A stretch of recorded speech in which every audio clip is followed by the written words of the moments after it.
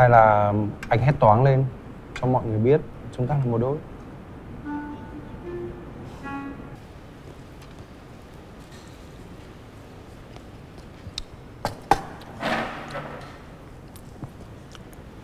Anh Phương Gì?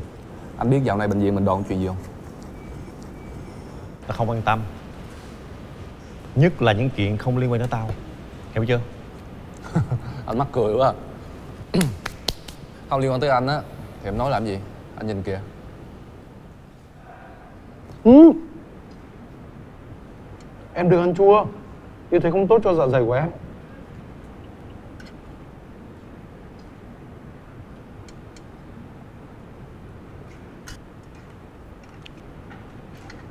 Kìa.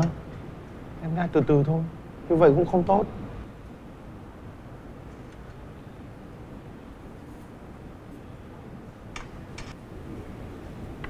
Anh ăn đi.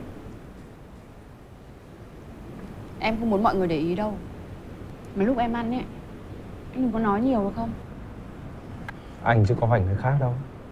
Em không muốn mọi người nhìn à? Không phải thế. Nhưng mà dù sao ấy Đây cũng là chỗ làm việc. Anh còn là giám đốc nữa. Hay là anh hét toáng lên cho mọi người biết chúng ta là một đôi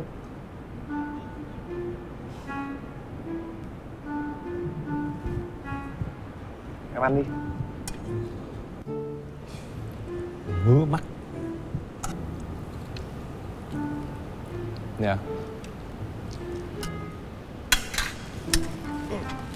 Chứ vậy? Anh bảo ngứa mắt mà.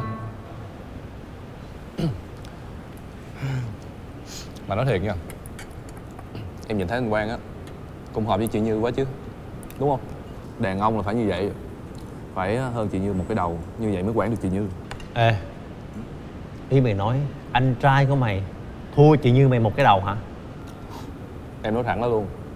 Anh với chị Như không có hợp với nhau đâu. Mày Chị mới mới được rồi.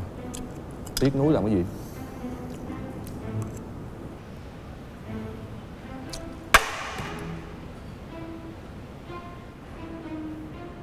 Tối nay mày nhịn đói nghe chưa? Tối nay em cũng có hẹn rồi. Anh ở nhà cô đơn một mình đi